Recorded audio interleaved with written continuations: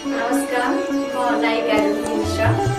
देश विदेशमा रहनुभएका दाजुभाइ दिदीबहिनीहरू र नेपालमा रहनुभएका आमा बुबा भाइ दाजुबहिनी सम्पूर्णमा विजयादशमी